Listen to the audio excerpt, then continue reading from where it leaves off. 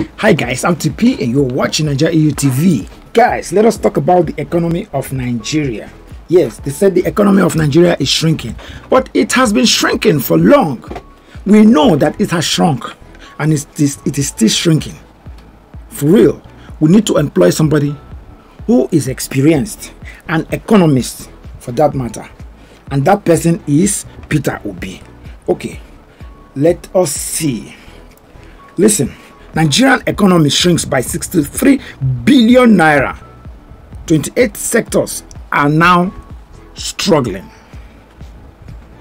My brothers, 28 sectors are now struggling. Okay, 28 sectors of the economy declined in the second quarter of 2022 as real gross domestic product shrunk by 63.49 billion naira quarter on quarter. My brothers, the economy continues to shrink. If we don't employ the right person, the right economist to take care of this country, to rescue this country, the economy will continue to shrink.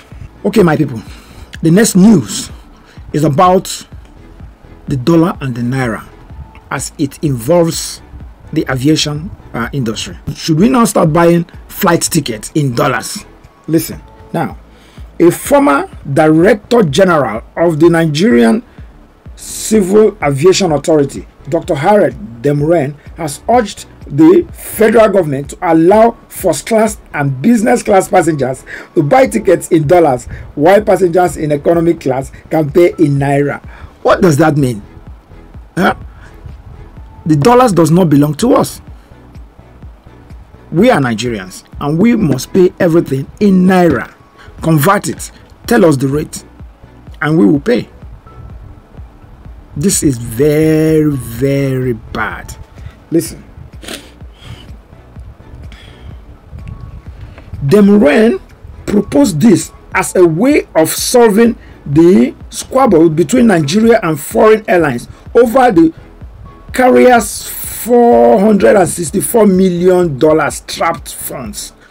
How can money be trapped? Where is this money trapped?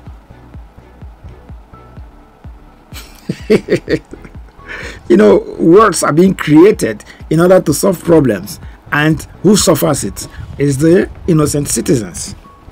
The aviation industry is already suffering, and not only the aviation industry that is suffering, every other sector is suffering. They are all shrinking.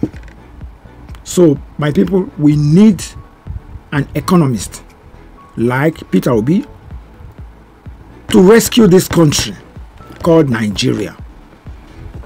Let us know at the comment section what your own opinion is about the economy of Nigeria.